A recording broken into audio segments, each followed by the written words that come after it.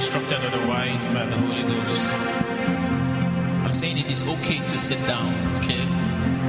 Just be sure that's what the Spirit of the Lord is leading you to do, but I would request that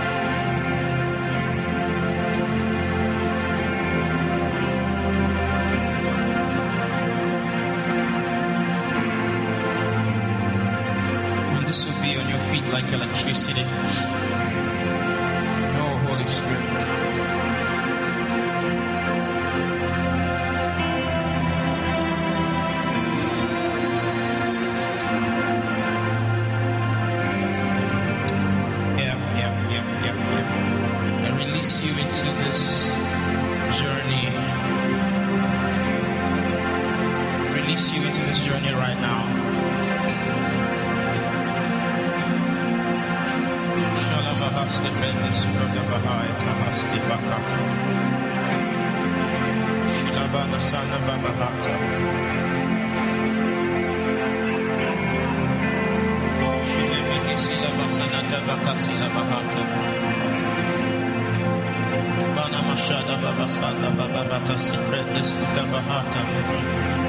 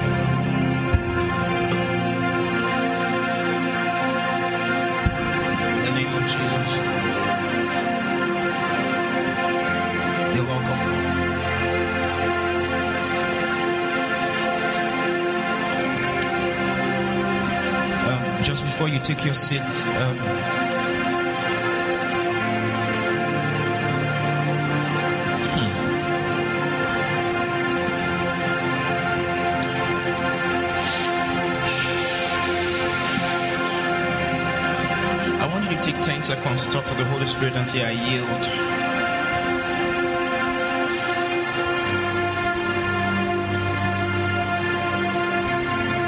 And this is a very important part of our ceremony tonight. I want you to talk to the Holy Spirit and tell him, I yield. To yield is to submit, to agree with his influence, okay? To agree to the intent of his heart. What you're saying is, in other words, you're giving him permission to exert his government upon you.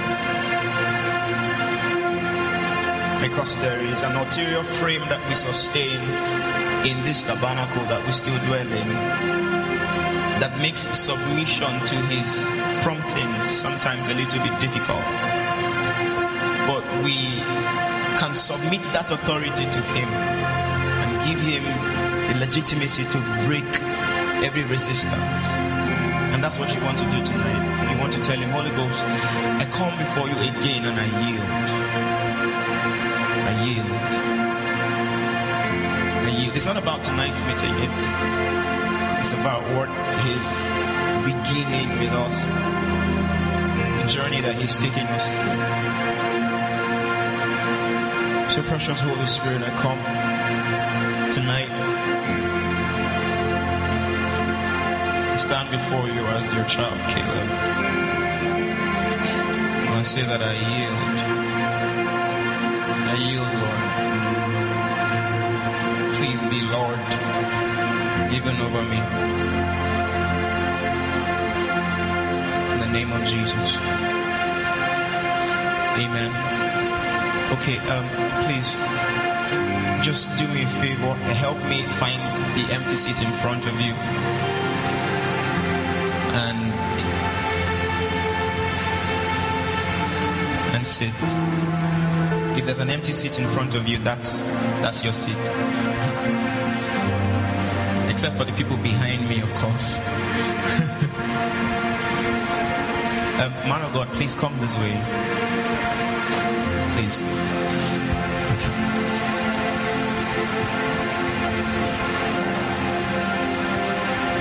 Hallelujah. Okay, Emmanuel, there's an empty seat in front of you. So yield. yield, sir. Yield. Yeah, you can keep it somewhere there. I'll bring it to me. You see, now there's an empty seat in front of Christy.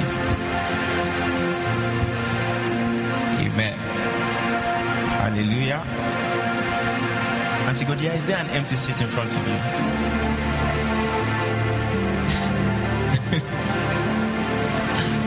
Amen.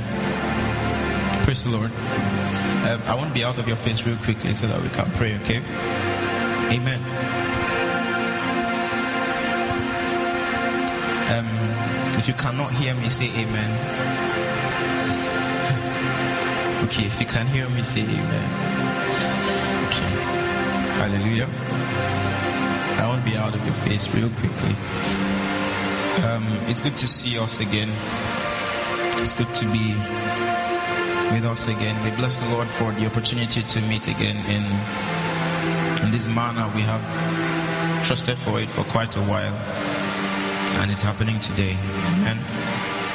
Hallelujah. And um, we trust God to help us um, here and now, and as the progression continues. In the name of Jesus. So I'm officially welcoming you again. Good to see you, sir. Please help me shake somebody to your left and right. If you don't have somebody to your left or right, it was because the person refused to take the front seat.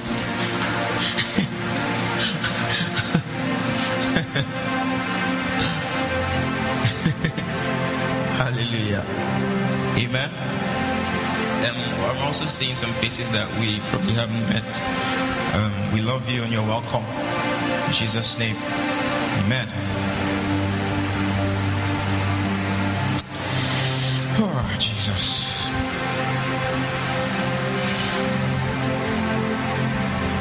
Somebody help me read something. Second Samuel. Second Samuel chapter 18. Maybe that would be a good place for us to begin. Second Samuel 18 18.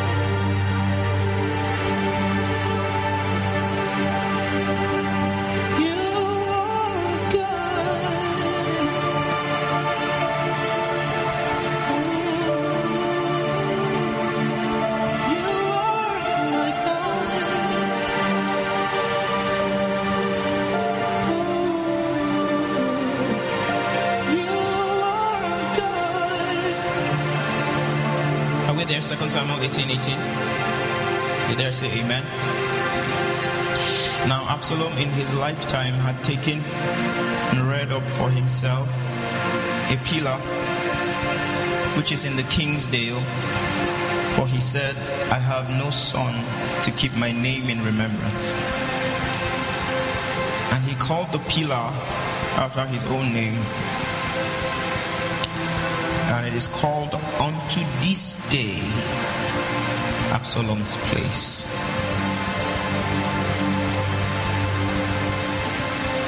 Amen. Hmm. Luke chapter 22, verse 19.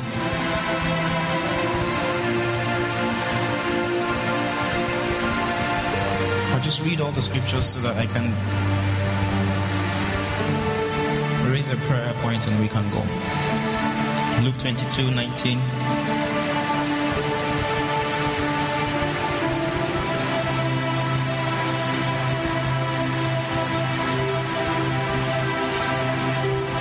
If you're there, help me, please.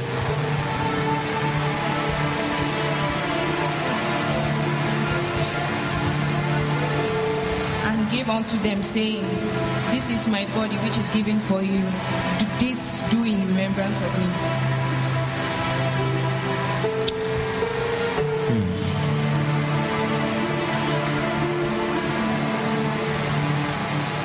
Let's begin from here. Um, 2 Samuel 18 18, what we're looking at is Absalom. And the Bible says that now Absalom in his lifetime, lifetime had taken and reared up for himself a pillar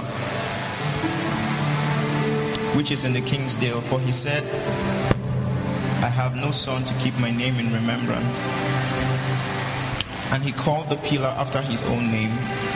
It is called us until this day Absalom's place. Now, please, I need you to understand and keep in mind the authority of Scripture.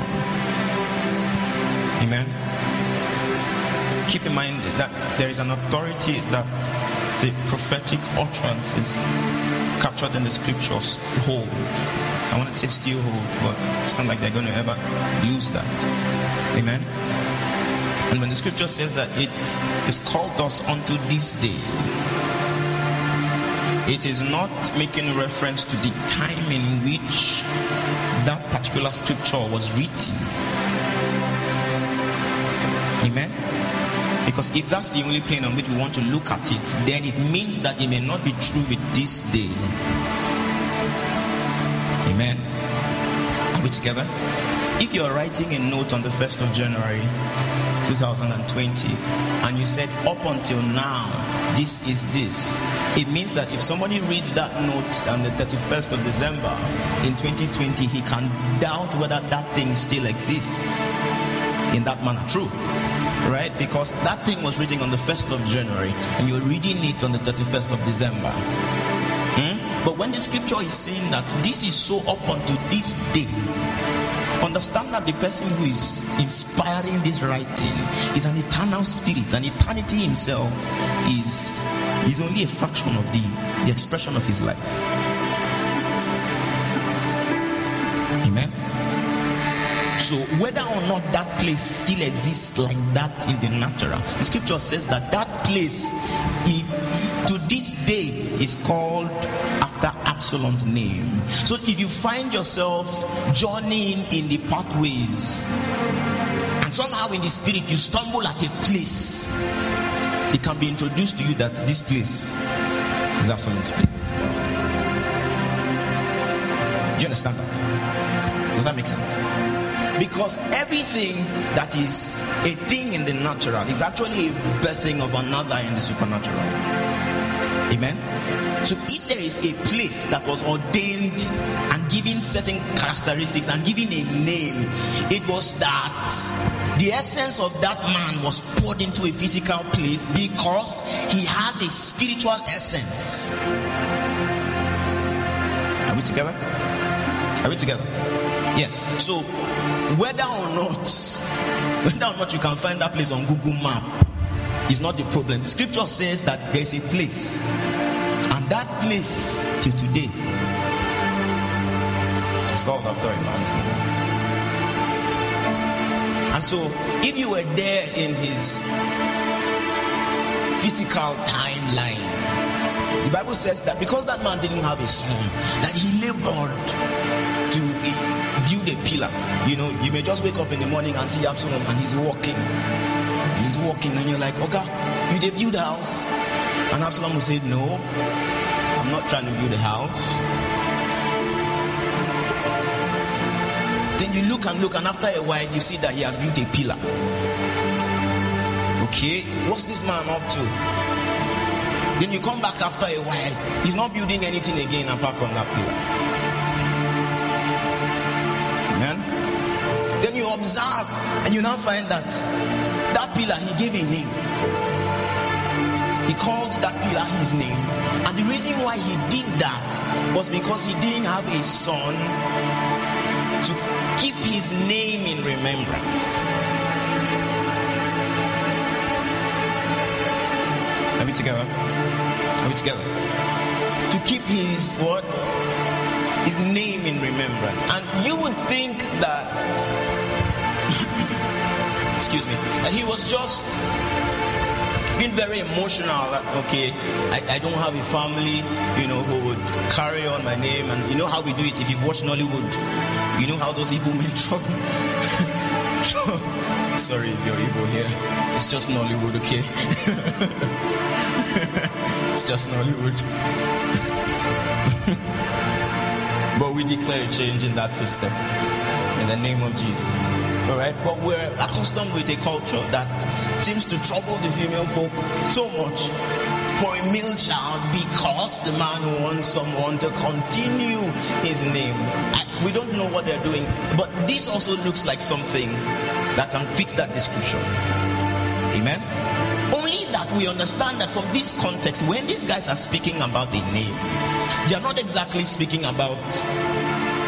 Give me a name.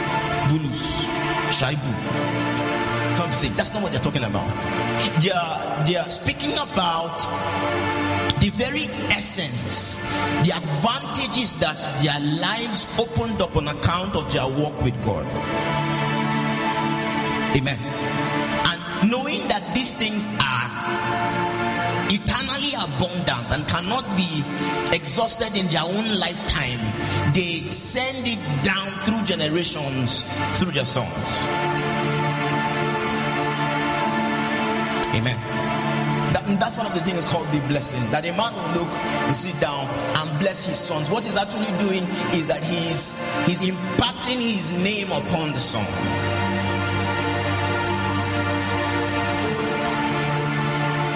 Are we together? And the Bible says that Absalom did this with a pillar.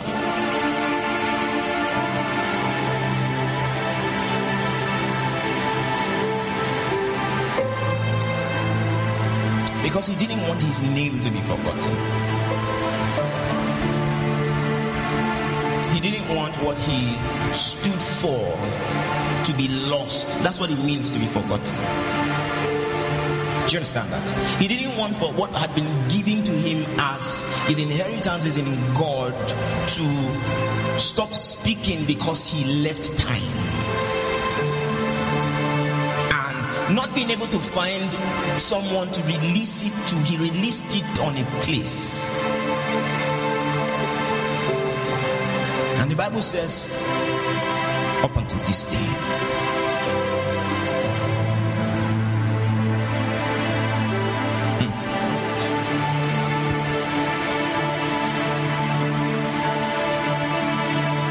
Last night, God and I were watching videos of Apostle Babalola and how the place he used to pray, even long after he had gone, they, they bring mad people into the room for deliverance. I don't say they pray for them for deliverance, they bring them into the room for deliverance. That something had rested on that place and it's strong enough to correct the problem of insanity. They dropped something on that place. Amen. But then see where we are going. We now come back to the lifetime of Jesus, and then we see that Jesus is almost at the end of his ministry. He calls his disciples together and begins to speak many things to them in what we know as the communion. Amen. That then the Bible says that he took bread, he broke it, and he says that this is my body broken for you. In other words, I'm about to die. Amen. What I'm doing with this bread is about to happen to me. Amen. And he gave them that mystery, what we know as the ministry, the mystery of the communion, right? And he gave them that mystery and he said, Do this. What? In remembrance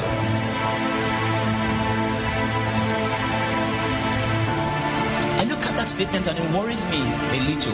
I must be very honest with you, sir. It, it worries me because these these are people that Jesus had walked with for a number of years, right? They had gone through all manner of of experiences together. They've they've seen the man walk on water. They've seen him calm the sea. They've seen him miracles. They've seen fish and bread multiply. All kinds of stuff. They have, by encounter with him, begun to walk into these things. And then Jesus is about to go, and suddenly he's saying to them that I want to teach you something. I want to give you something, and the the scope, the aim of why I'm giving you this thing is so that you can remember me.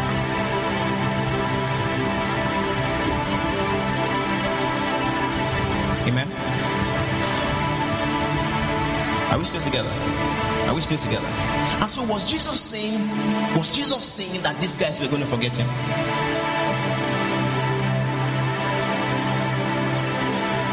Is that what Jesus was trying to say?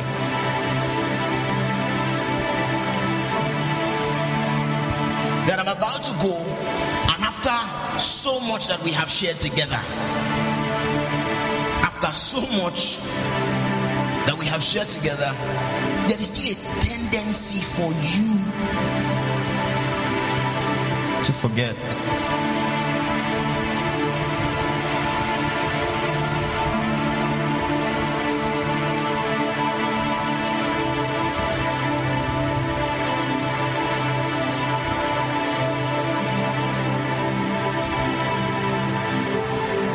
Let me show you something. I think this is this is Second Peter. I think. Let's find it. Second Peter chapter one verse thirteen.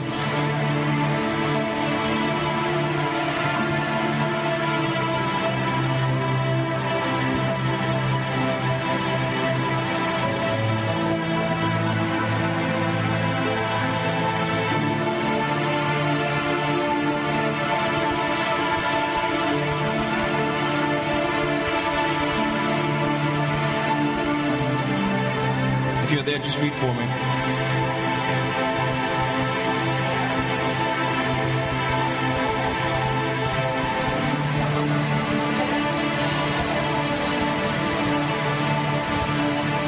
Please let's read that together. One to go.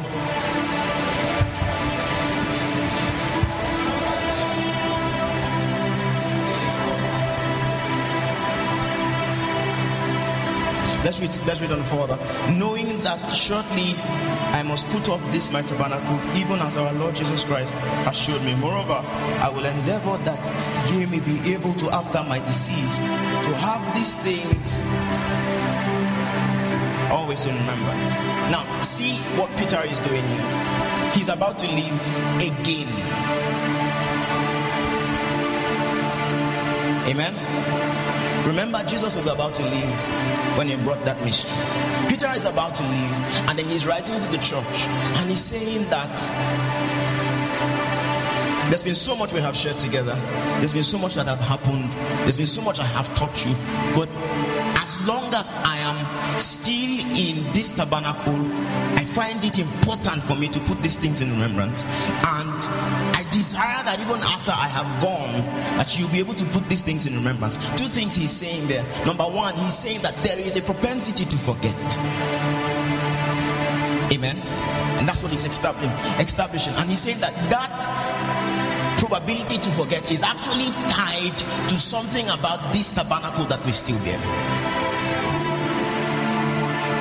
Amen. Amen. Praise the Lord. So, when Jesus was leaving, and Jesus said to them, In this communion, one of the strong things that we're touching is, is a ritual that brings you into remembrance. Amen. Hallelujah. Now, please take your mind off. That's why there's no bread and wine today. Amen. Because I don't want you to think of it in what you do. I'm trying to help you see the things you touch in communion. Praise the Lord. Amen. What happens to you in communion? Every time that you are in His presence, every time you come to the Lord and your heart is open before Him and you touch that life, that place of communion, one of the things that it does to you is to bring again that mystery of remembrance. Because see there is there is that which stands as your reality and definition in god. The bible says in in jeremiah that before you were formed you understand that? So there is your definition in God, but there is also something about this tabernacle that seems to limit your ability to live in reference to what your definition is in God. And so every time there seems to be a need for God to speak His word into your heart and bring you in remembrance to what you are in Him.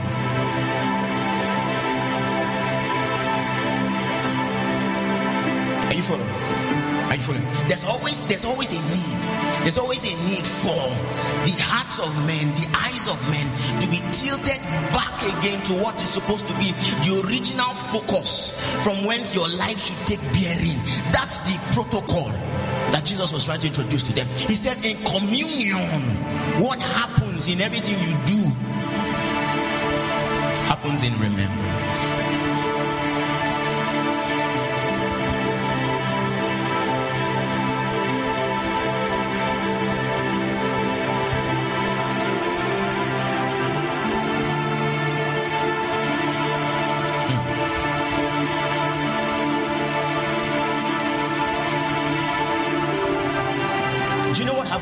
Man forgets? Do you know what happens when a man forgets? Think of Elijah. Think of Elijah. Think about the mighty episode of killing 400 prophets. Think about the don't know about you, but if that thing happens that I, I erect an altar in Banawa, eh, and I cry, and fire comes down, man of God, fire, and the thing I put on the altar I burned, the drench I dug around it, the fire licked it.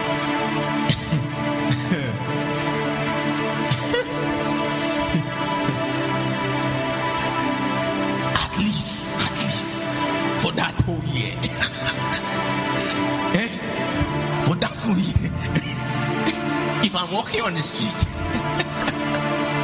don't to as if you don't know what I'm talking about. Eh?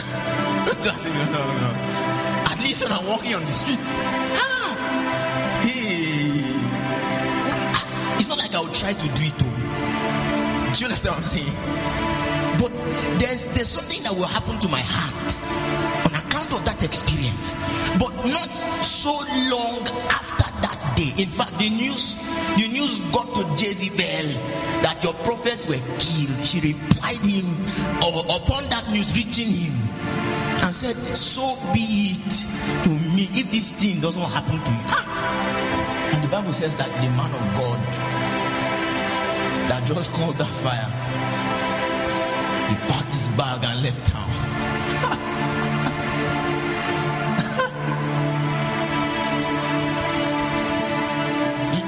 Until he fainted in the wilderness. And an angel had to come and help me. God said, What are you doing here? Then he now began to complain and say, I am not better than my fathers.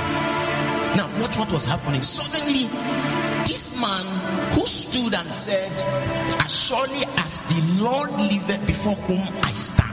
See where he was taking his reference from. Suddenly began to speak to God and said, I am not better than my father. See another reference.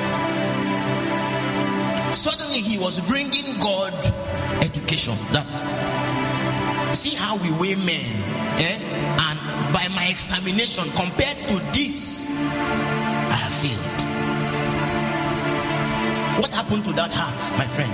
Is a description of forgetting. That's what happened to that heart. So I'm not talking about what happens in your memory after time has elapsed. No, I'm talking about a season when something sits upon your heart and darkens what should be the light that powers your journey. At that moment, you are described as one who has forgotten. So Jesus was saying that in communion, every time bread is broken, meanwhile, he's talking about himself. Every time he releases himself to you to eat, what happens as light comes in is not that you are told something that you never knew. It was that you are brought into remembrance. Have you read the scripture before? And suddenly a light shines, and you were like, I never saw this before. Actually, from when you were born as a seed of God, you knew this all the while.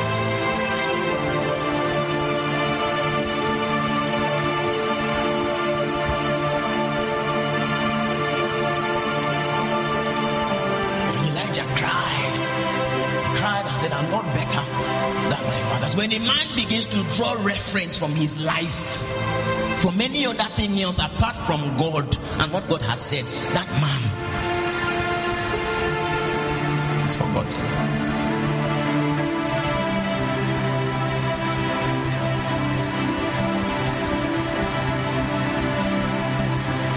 When a man stands and cannot find his life navigating on the strength of what has been released upon him as a child of God, as a sent one, as one who is ordained and called of God, you see, that one, one has forgotten.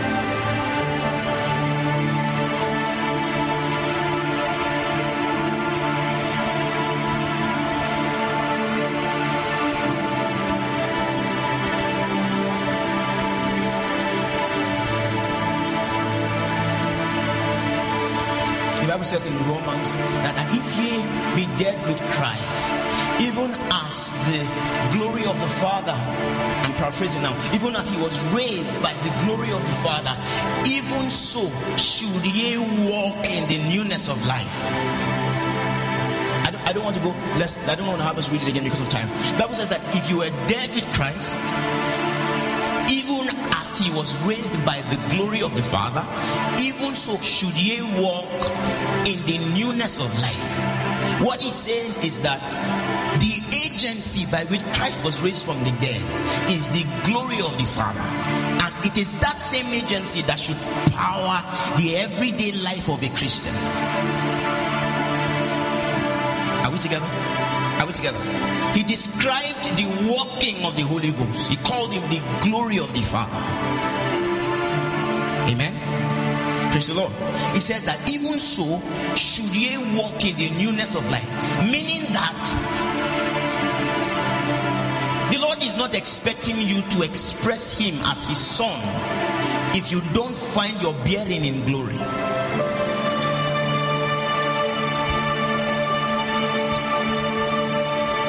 He's saying that we should read the scripture. Romans chapter 6, verse 4, please. That's what he's saying.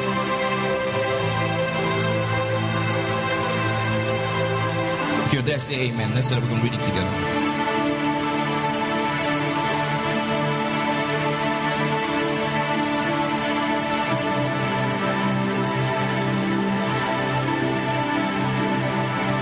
You there? Whoops. Romans chapter 6. Romans chapter 6, verse 4. Let's read it together. One, two, go.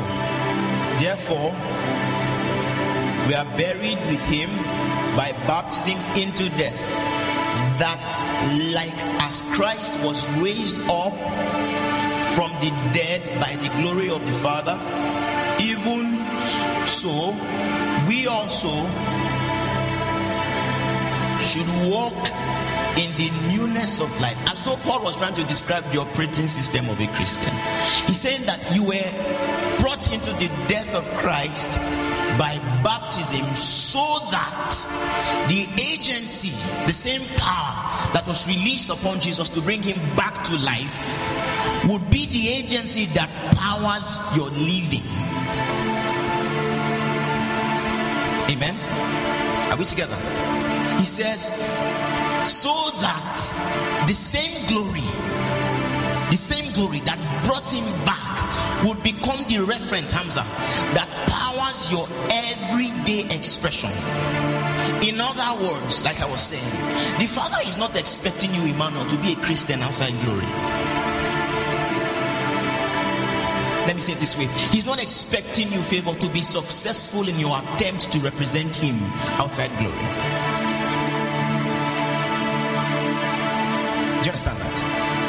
So your your breathing, your walking, your sleeping, your cooking, your eating is expecting that every expression of you as a man, whether a man in the flesh or in the spirit, will be will be powered by the same glory that brought Jesus from the dead.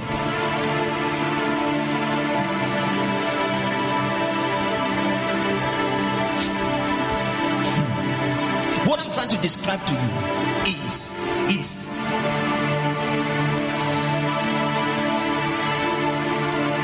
there's perpetual failure in the report card of an average Christian today because we are trying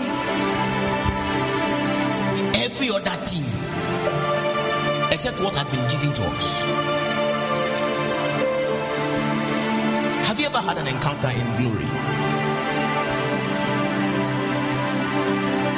Of course, you, you should have, right? I, I want us to talk, I want us to relate this, okay?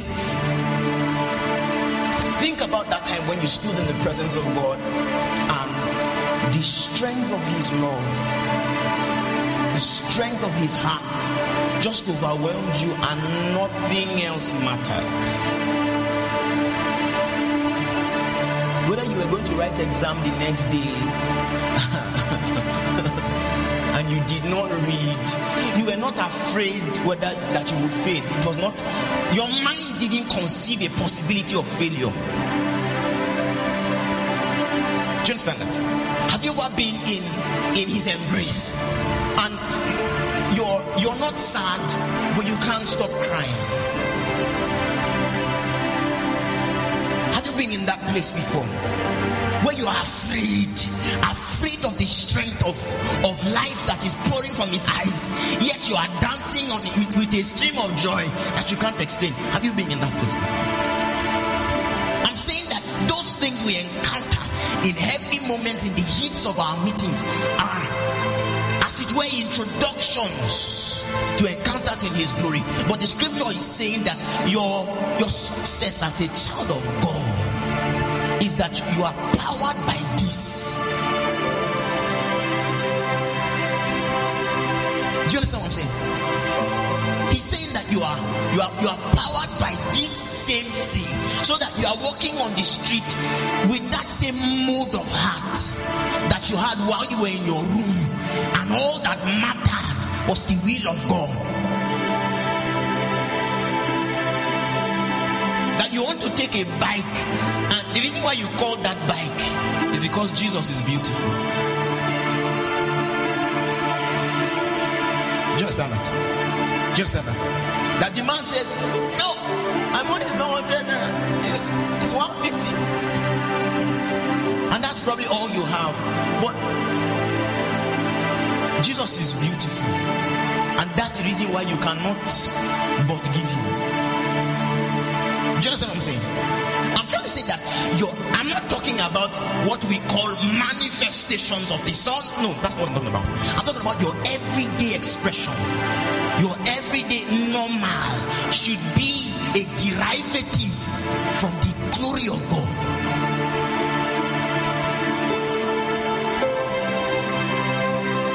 The reason why we can get angry at our brothers is because we have forgotten that Jesus is beautiful. Is, is, is, is possible that you will do something, then I will now be offended. Then it will not take me two months for me to be delivered from that offense. Is because me, I have forgotten that Jesus is beautiful. I'm supposed to live life caught up in the beauty of his face. Do you understand that? It was ordained that I would go through life caught up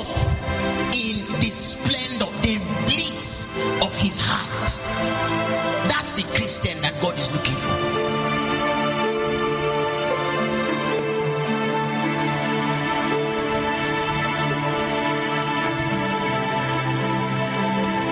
And I had to first explain that the matter of forgetting is not what happens in time. Because the devil can orchestrate attacks on the heart of a man to shift him out of focus so that he can forget.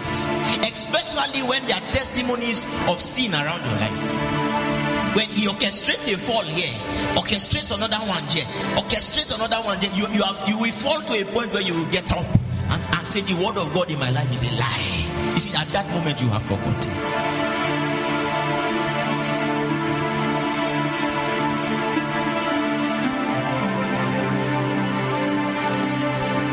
Elijah slayed the prophets of Baal. The queen rose up and threatened him, and name of the demon is discouragement. Discouragement. By the threat from a throne, discouragement sat upon the heart of the man of God. The problem there was that this man was exposed. He forgot.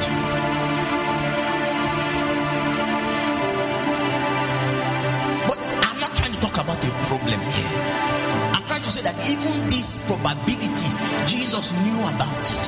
And so when he was introducing the Holy Ghost, one of the introductions he gave them, he says that, and when the Comforter shall come, he said, These things that I have spoken to you, he shall put you in remembrance of all things.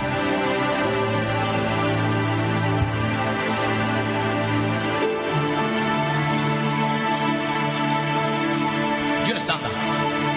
Do you understand that? So, in the Holy Ghost is a system installed on your heart to see that it's possible, sir, for you to live perpetually in the heat of the embrace of the Father.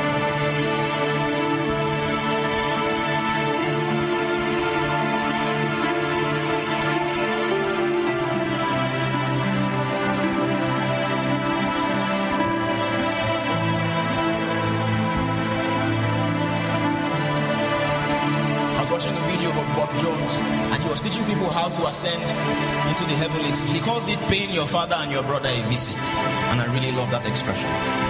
He says it's important for you to pay your father and your brother a visit. And he was teaching them how to do that. And then he now said something very funny as though making a joke, and I loved it. He said, If you're in your house and you can't sleep because demons are disturbing you, just go up.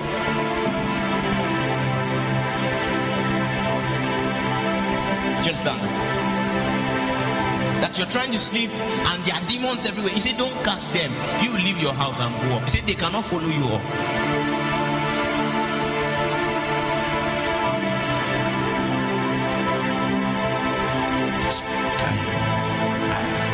Christianity, Christianity is a breed of people living from up. Do you understand that? Is the culture expressed a generation of people living from up? That these guys are locked up. That's what the scripture speaks about when it says that he that abides under he that dwelleth in the secret place shall what? Abide under the shadow of the Almighty. That there's such a thing as abiding under, no, let me put it this way abiding in a place where you are overshadowed by the Almighty. Saying that you stand in a meeting and the anointing comes on you and suddenly you're operating in the spirit of might. All of those things are introductions. It's a schooling system of what can be your perpetual reality. I'm saying that you can abide such that you are overshadowed by the Almighty.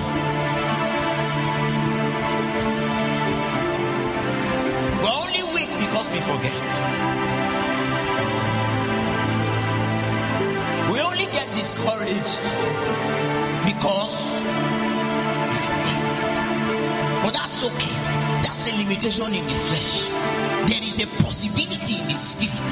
No, there is a possibility in in the one that now expresses the life of God, the one that now defines our existence as children of God, such that we don't forget.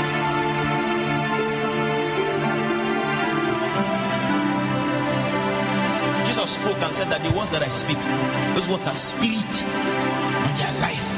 But he said, you see, spirit and life. It is the Holy Ghost that will put you in remembrance of spirit and life. So a man rises up and is excited and tells me he had an encounter, and God told him he will be this and this and this and this. And in the next three months, he's crying because he doesn't understand his life. You know that one, that one has forgotten. The reason why he's forgetting is because he's not living in the Holy Ghost. This is what I brought to you tonight. There is no Christianity outside the Holy Ghost. All there is outside him are attempts with one end. Only one end, and we know the end. Scripture says that the labor of a fool wearieth every one of them not the way to the city. Weariness is the end of every attempt to be a child of God outside the Holy Ghost.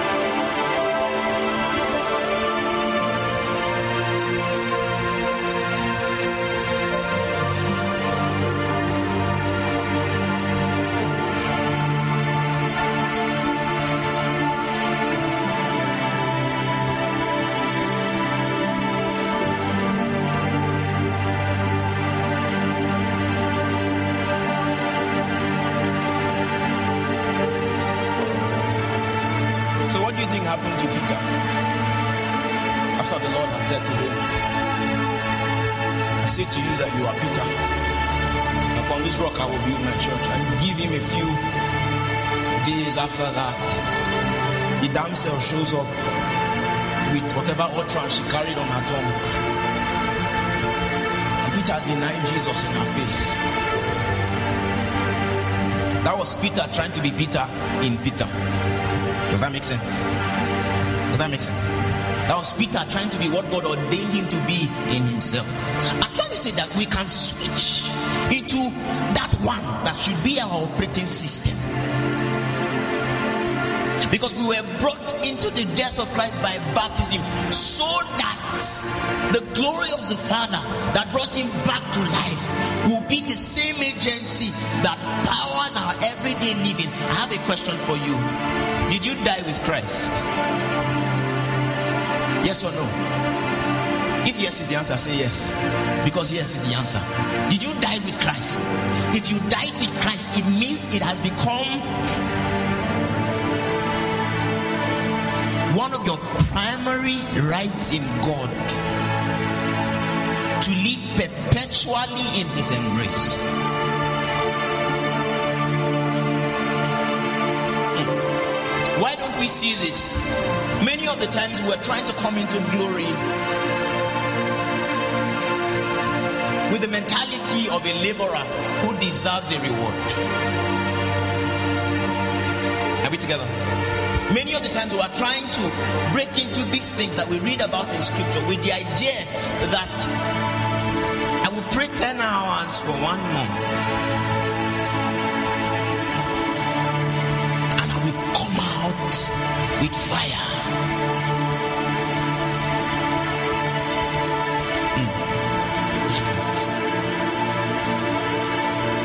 Is true that there is a system in God that rewards faithfulness and diligence.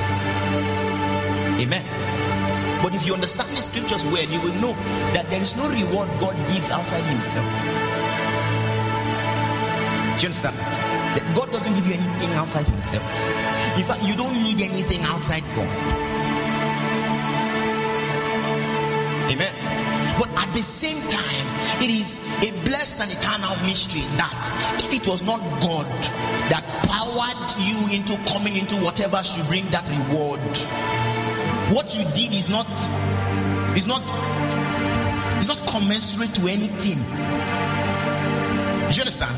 A reward is a price for something that you have done well, and so we're rewarding you, right?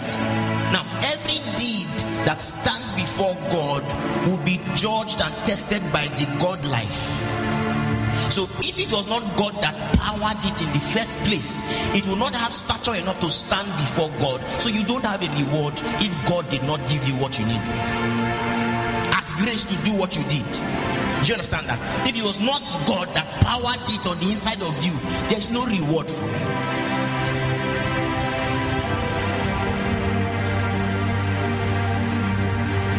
Are we following? Are we still together? So I'm saying that at the end of the day, at the end of the day, glory is the beginning of a man's journey, and glory is the end. Glory is what powers your journey, and glory is the only hope that you are looking out for when you arrive at the day of judgment.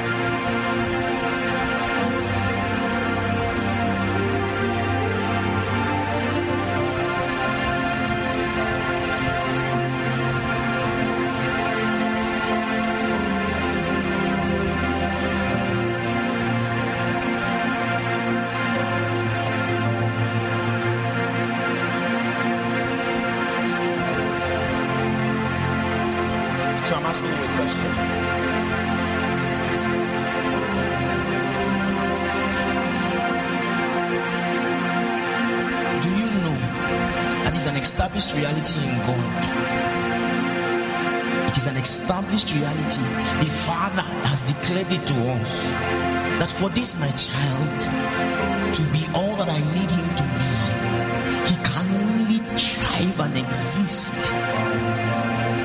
by the strength of the life that flows from a face to face encounter with me.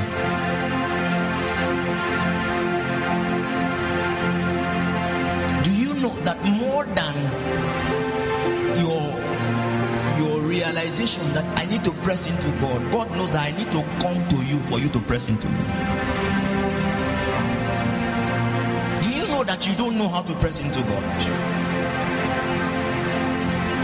Do you know that God knows that you don't know how to pray? Mm. Yes, your father knows that there's only one that knows how to pray. His name is prayer. You understand that? He knows it is his son. There's no prayer outside his son. And he knows that you don't know how to pray. He knows that until his son comes to you and energizes you by his life, you cannot pray.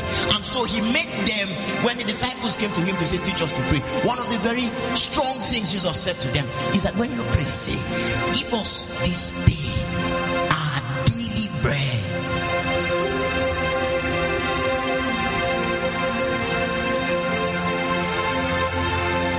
The Father knows that the demand upon your life, not even as an apostle or whatever, as a child of God, is impossible outside the atmosphere of His glory.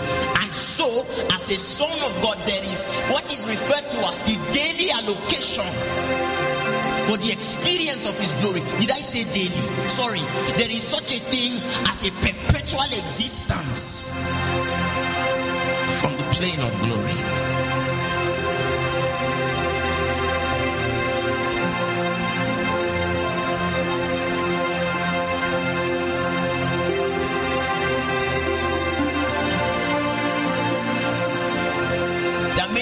Have forgotten.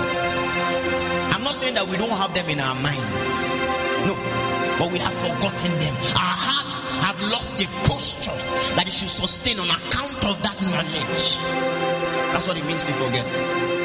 But there is one tonight who has come to turn again the hearts of men to the speakings of God when He sends them forth into time. You know has called you. You know, but the thing you did three days ago speaks to your heart and it is louder. And because of the, the strength of that thing, you cannot rise in the boldness of a son of God. No, wait, wait. There is one. There is one who comes with a ministry to remember.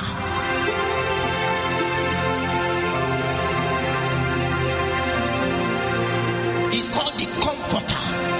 When he comes, he will bring you in remembrance to the things said concerning you. For you cannot become what you have forgotten. It must be perpetually before your eyes for you to give birth to that reality. Your heart must be tuned to that frequent frequency continuously. Continuously. The day you lose that frequency, you lose what it takes to give birth to it. But but friends, I didn't come to talk about the problem. I came to about the provision that the Father made. How be it when the comforter shall come.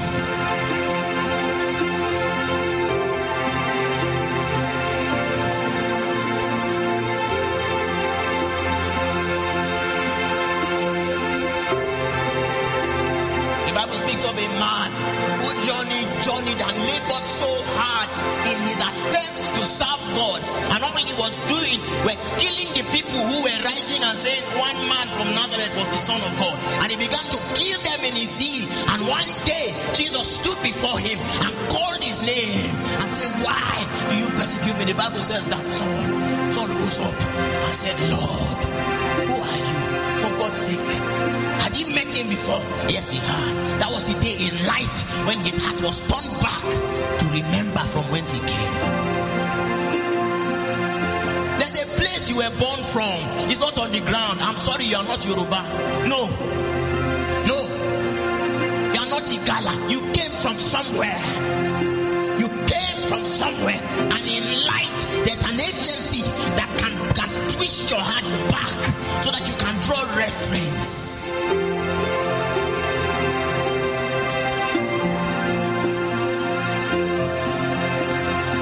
How can it be that men define themselves by the, the higher institution that they have gone or have not gone to? You have forgotten where you came from.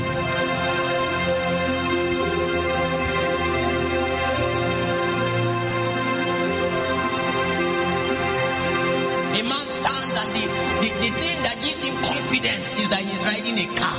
That heart, that heart. Aye. He got the gift of a car and he's shouting that God is good, meaning that the person who manufactured it is the one that gave him a testimony about the goodness of God. I know.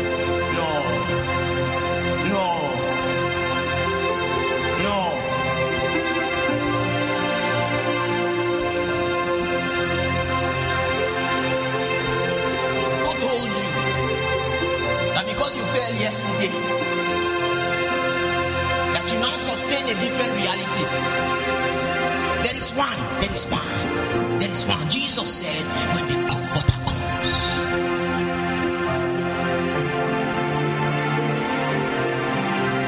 when the comforter comes,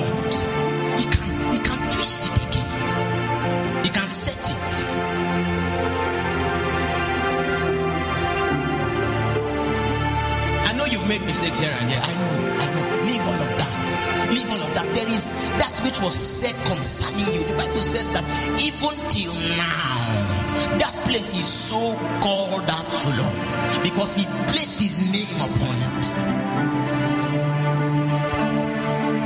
So, whether or not erosion happened on that place, that's what happened in time. That place can be brought back into remembrance the Holy Ghost breathes upon that same vicinity again, that same reality that that man blessed that ground with suddenly begins to find expression.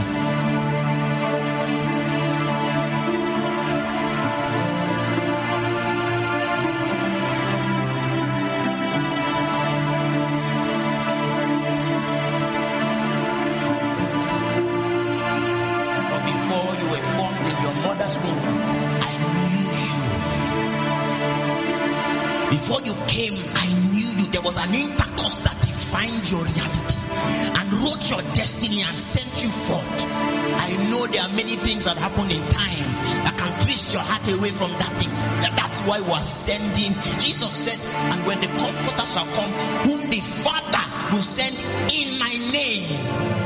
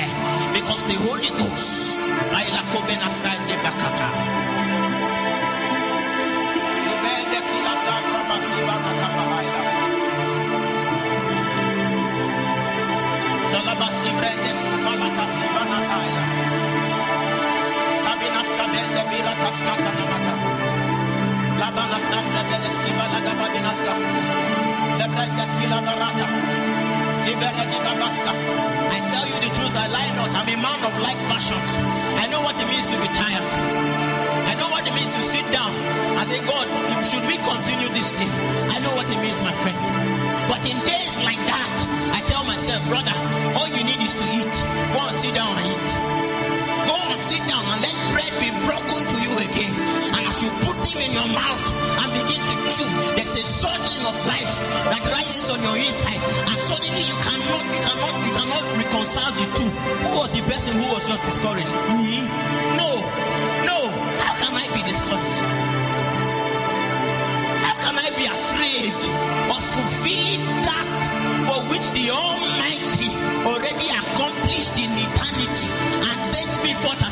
direction, how can I be afraid of fulfilling it? What God already completed? No. When I arrive like that, it's just that I have forgotten.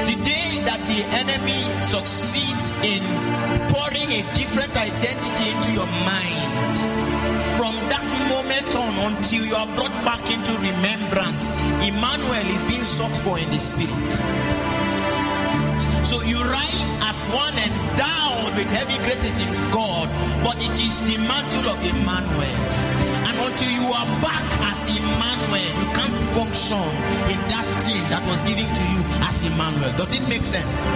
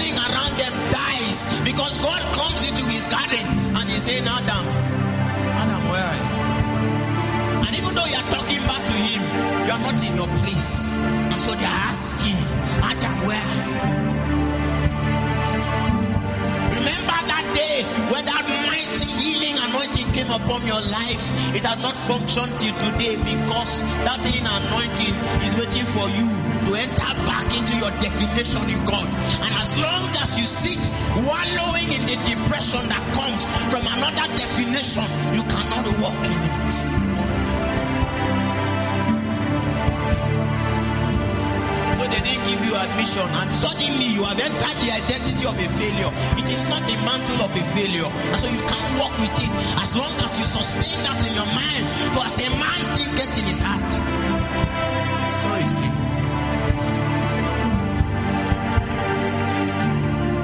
For as a man thinketh in his heart, suddenly he enters into that mode. It becomes an expression of what he thinks. Ah, but the comforter is here tonight.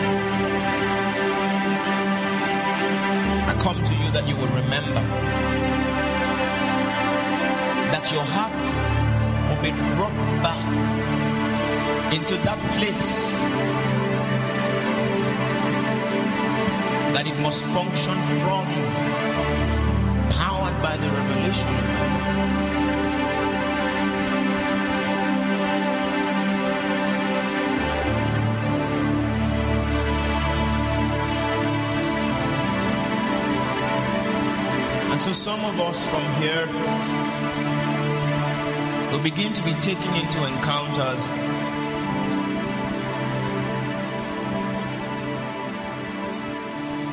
To help you see again.